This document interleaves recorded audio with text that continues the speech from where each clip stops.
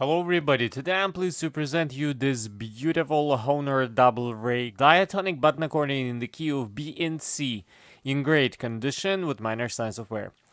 On the treble side we have 21 button and 2 sets of reeds.